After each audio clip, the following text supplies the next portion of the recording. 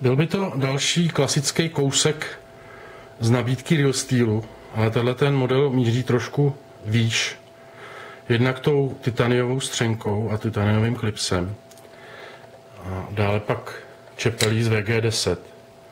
Za tenhle nůž by se nemusel stydět ani hodně známý výrobce.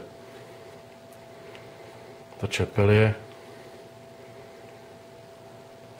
poměrně velká. Tak pěkně zasedá až do konce e, rukojeti. Bych dokonce řekl, že váha padá právě na tuhle tu masivní velkou čepel. Tady je to odlehčený tím titanem a tohle bude zřejmě G10.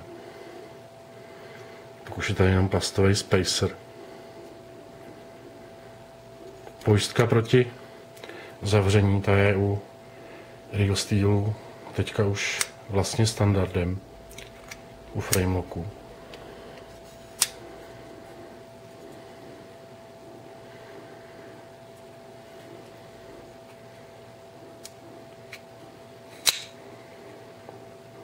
Poměrně velký nůž.